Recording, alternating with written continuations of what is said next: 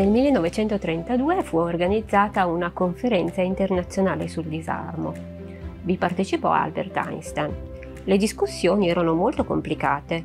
Si discuteva su che cosa potesse rendere più o meno umana la guerra. Einstein non era d'accordo con queste complicazioni e convocò i giornalisti per dire la guerra non può essere resa umana, la guerra può essere solo eliminata. A tanti anni di distanza, il libro di cui stiamo parlando, che è Una persona alla volta di Gino Strada, sostiene la stessa tesi.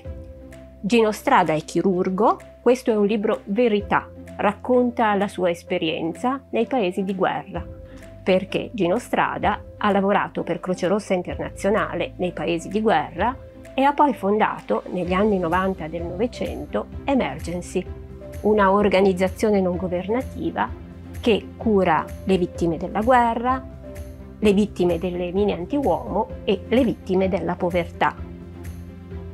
La guerra, Gino Strada l'ha vista tante volte, quanto basta per capire che non risolve mai i problemi da cui scaturisce, da cui nasce. Anzi, come dice Gino Strada, la guerra è essa stessa il problema.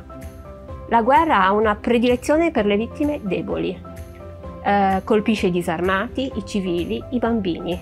La guerra crea povertà diffusa e ricchezza per pochi. È arrivato il momento di dire no alla guerra, di dire basta, di mettere in campo quelle belle energie positive, morali, che hanno portato al superamento della schiavitù, che possono portare oggi al superamento della guerra.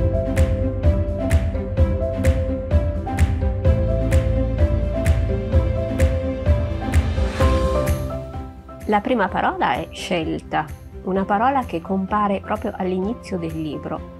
Gino Strada ha compiuto spesso scelte coraggiose e controcorrente, ha esercitato scegliendo la sua libertà. Ha scelto di realizzare un progetto ancora prima di sapere se fosse realizzabile. In questo senso per noi è un esempio. La seconda parola è cura.